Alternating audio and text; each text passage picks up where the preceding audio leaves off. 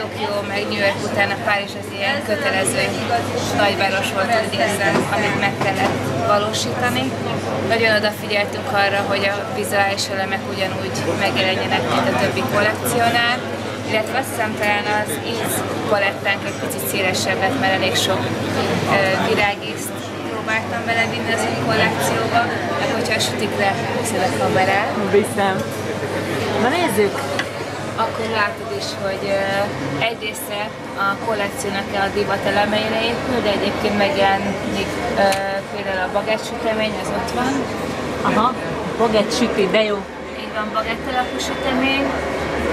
Csináltunk nyilván kötelező jelleggel meg kellett egy pár hagyományos süteményt is el kell készíteni, csak ezeknek új formát adtunk, mint például ez a Paris Brest, ami egyébként egy eklertésztába töltött pralinékrémene, azt mi pohár desszertként fogalmaztunk meg, vagy ott van a nagyon híres opera sütemény, uh-huh. amit megint egy, a vajkrémes opera sütemény helyett mi egy vízzelkos. Az melyik? Nem a magas sarkú. A magas sarkús az, az is Maga, egy ikonikus? Nem, a magas sarkú az egy ibolyás erdei gyümölcsös sütemény. Ő a revű sütemény, ő nekem még egy nagy kedvencem, illetve nyilván a kánkán. Revűről azt kell tudni, hogy alul van egy ilyen mandulás ö, narancsvilágvizes musz, aztán azon egy sárga barack, kompót, és legfőbb pedig karamelles tejcsokoládé musz.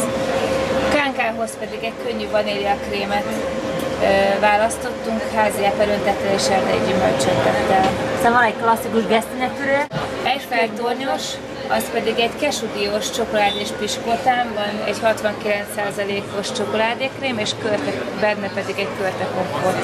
Mi van még, ami kedvenc, és jól sikerültnek érzed? Ami, ami különleges, lehet, hogy kívülről nem látszik, az talán ez a gomb. Uh-huh. Ez, ennek az a neve, hogy couture. Ez a Varona csokoládé cég egy hónapja hozott ki egy újfajta csokoládét, ami még sehol a piacon nem talál, senki nem találkozhatott vele. Ez egy sült fehér csokoládé muszból készül.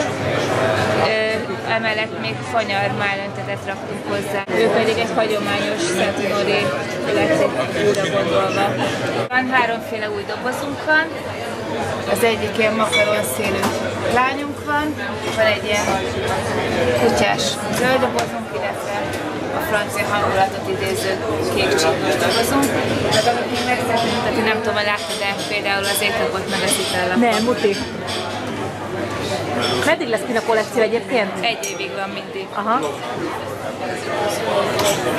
Tehát amit lerakom, uh-huh jön az italap meg az étlap.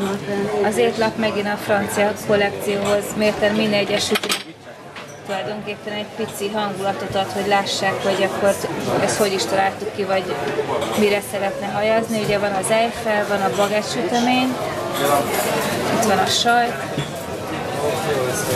Ö, tulajdonképpen a hipnoszt és az ópiumot pedig parfümként képzeltük el.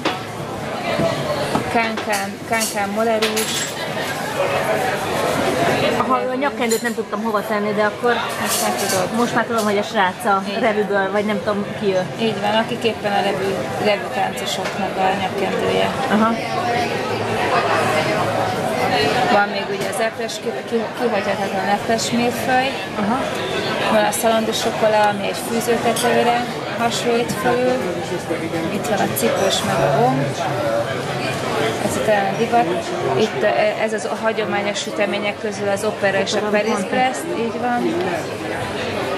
Itt a sensual, maga ugye a gesztenyés, illetve a meglepetés sütemény. Ez például nem tudom, kóstoltad, ez is egy, egy olyan dolog, azért hívjuk surprise süteménynek, mert hogy ki kell bontanod, és tudom, meglepetés maga a sütemény is, mert amikor kibontod, akkor belül maga a sütemény egy külső vékony habcsokot rejt, és föl kell törnöd magát a habcsokot, és benne pedig vaníliás krémhusz van, egzotikus mellőntetel.